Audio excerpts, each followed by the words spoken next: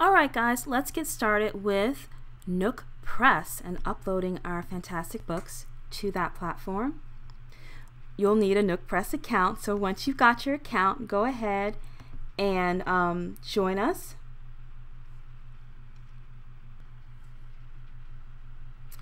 So once you come into the Nooks uh, dashboard, in order for us to upload a new book, we are going to create a new project. And this is, I'm still working on Moonrise, trying to get all of the platforms covered. So I'm going to enter that title. Well, it's the project name, it's not necessarily the title. And Nook has a couple of areas for us to, to deal with. We're going to work with the manuscript first, then the cover image, then we're going to enter our metadata, and then we'll be ready to hit the publish button, and our book will be available for Barnes & Noble's book readers. So I'm going to upload uh, my manuscript. Nook gives me the option of doing a doc, a text, an RTF, an HTML, which I'd be fascinated to see someone writing in HTML, or an EPUB. I've got my EPUB handy, and I'm going to tell that to Nook. I'm in the wrong file. I want to be in the Moonkind series, and I want to be in the Moonrise folder on my publishing platforms. And here is my EPUB. If you've taken other classes with me, or if you by chance happen to have taken a class on ground with me, um, you will start very quickly to, I will beat you over the head until you have root folders with everything very organized in them because it just makes life so much easier. And as you've been watching me go through my files on my uh, desktop, you see how ridiculously organized I am because, man, it just makes life easy. So Nook is thinking about my manuscript, and while I chattered on for a few seconds, it should have it just about ready. All right, so Nook has grabbed my manuscript. Um, I could preview this book. I'm not going to do it now. I've already previewed it on one platform. It's the exact same file, so I know that it looks good and I know that I'm grabbing the correct file. But I do encourage you to get in the habit of doing that. I'm not going to waste your time right now because I feel very confident um, in what I have uploaded here. So the next thing that I'm going to do is I'm going to grab my cover image. Under cover I'm gonna it should take the high res because that's only 743 kilobytes and Nook's max is 5 megs. And yes please go ahead and add it to uh, my cover add the cover to the manuscript. Thank you for asking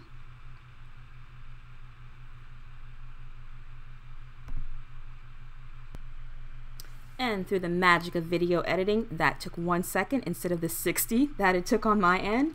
And that looks fantastic. I love this cover so much. I just could stare at it for days. Um, so the cover's done. Now I'm going to go into my details. Here's all my fun metadata. So the book's title. Come on, Nook. Stop thinking and let me do my work. Thank you. It grabbed a lot of this information already. Um, so it grabbed the project title and it made an assumption that this was my book's title, which it is. I'm a frequent flyer with Nook, so it um, knows who my publisher is. Now here is a sticking point. I've told my readers that this book is um, going live on August the 2nd. At the time of the recording, it's July 31st. And unfortunately, Nook does not allow for pre-order, so I can't change this. I can't make this um, August. It'll yell at me if I try unless something has changed, I'm pretty sure it's going to yell at me, so I'm not even going to bother um, trying to do anything differently. The, my Nook readers will just be happy that they get the book um, a little bit earlier. So here I am. I am the contributor. I'm Ines, and I am the author. But just as we've seen before, if you want to give props to your editor or uh, your formatter or anybody else, you can uh, do that here. And like I've said before, I want all the glory. so I'm just gonna have me there. Gonna go to my handy dandy metadata and grab that information and plug and chug that information here.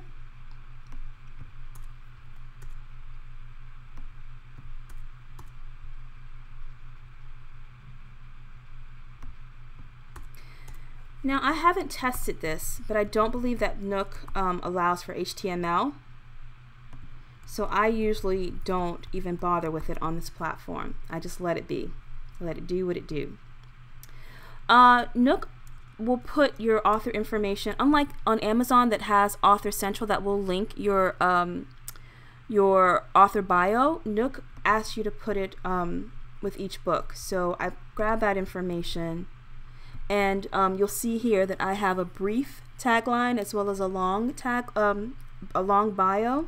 And I'm just going to choose to put the whole bio here because it gives me the space to do it. It gives you 2,500 characters. And yes, I do have an ebook specific ISBN number.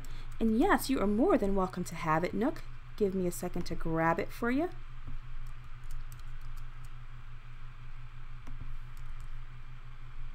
And all that looks fantastic. I'm going to click Save and Next.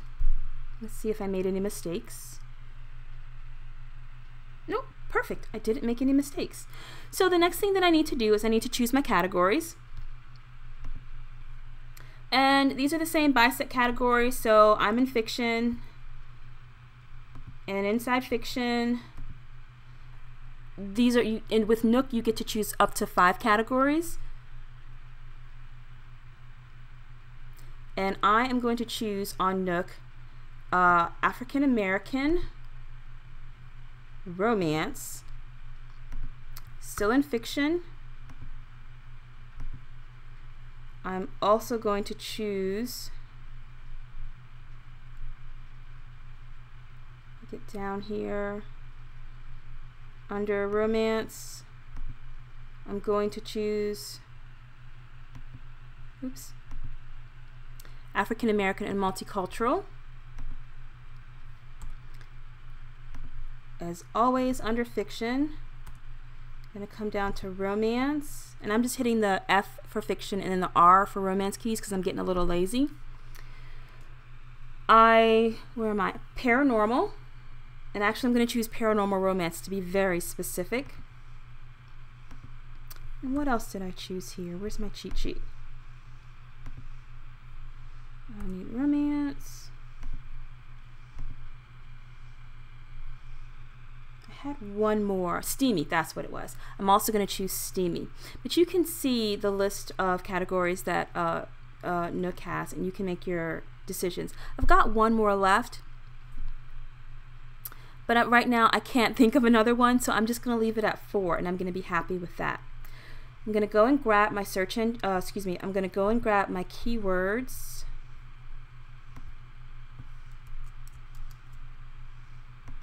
put that information in there.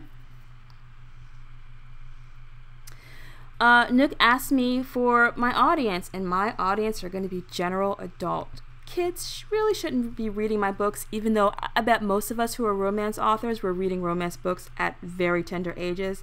I was 12. Uh, and my book is written in English, so I'm going to make that uh, selection here. And all that looks great. It looks great. I'm going to go save and next. So I'm on the pricing portion. I want worldwide sales, even though Nook only sells in the United States. So this is a fruitless button for me to push. But I don't know. I guess I still hope against hope that, you know, somehow, some way, Nook will rise to the forefront again. Who, Here's hoping.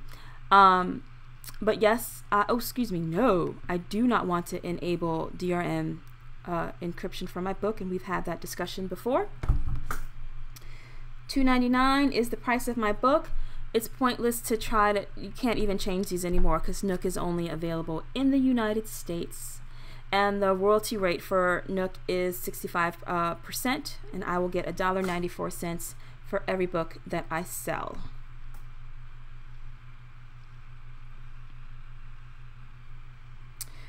Now it's asking me a bit of other information. For example, is this book in the public domain? Nope, because guess what I did? I bled, I sweated, and I teared up over this book. Yes, it is a part of a series, and the name of that series is the Moonkind series.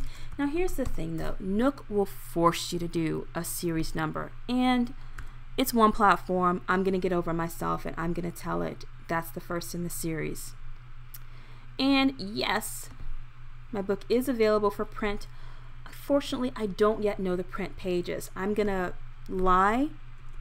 Don't tell anybody I'm lying. And I'm going to put in 200. And then when I know, I'll come back and I'll make a change. I'm going to click next, and I think that's it. No, I've got editorial reviews, of which I have none yet because the book is uh, just coming out, so I'm not going to add any editorial reviews. And if I don't click that add button, it can't force me to. I'm going to click publish. It's going to ask me, am I sure? And I'm going to say yes. Nook, thank you for asking, but I am sure. And Nook will process the book, and hopefully it will go on sale probably sometime today to my reader's delight read on Nook. So that's it for uploading your book using Nook Press. I hope that's been helpful, and I'll see you guys again in the next lesson.